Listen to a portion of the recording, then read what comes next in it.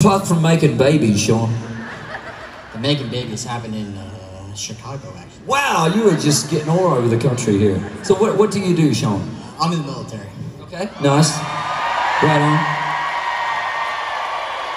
And we've got to obviously find out. So is this a first? Yeah. Okay. So who's here tonight? Any any of your family here tonight? No. Just the two of My, my dad is actually in Navarre. He came down this weekend, but Okay. he had plans to come see you. Okay. This is what I love about you guys. So you're completely pregnant here, and you're like, anyway, we're going to the concert. That's what's happening, right? Um, so how do we reveal it, and and how how we are we filming it? Is this a big moment for the family?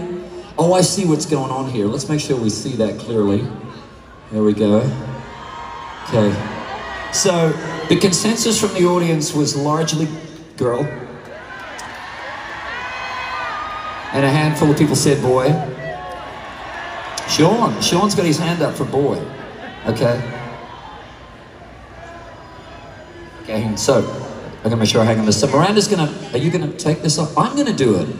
Okay, all right. You got a drum roll there? We need a drum roll. It's a big moment. Here we go. Oh, it's an envelope. Oh, it's an envelope. Okay, here we go. And the Academy Award for Best Baby Makers. That's a good category. It's a boy.